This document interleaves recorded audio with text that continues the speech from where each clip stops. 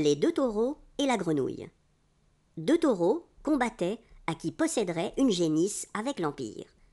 Une grenouille en soupirait. Qu'avez-vous? se mit à lui dire quelqu'un du peuple croissant. Eh. Ne voyez-vous pas, dit-elle, que la fin de cette querelle sera l'exil de l'un, que l'autre, le chassant, le fera renoncer aux campagnes fleuries? Il ne régnera plus sur l'herbe des prairies, viendra dans nos marais régner sur les roseaux, et nous foulant aux pieds jusqu'au fond des eaux. Tantôt l'une, et puis l'autre, il faudra qu'on pâtisse. Du combat qu'a causé madame la génisse, cette crainte était de bon sens. L'un des taureaux, en leur demeure, s'alla cacher à leurs dépens. Il en écrasait vingt par heure.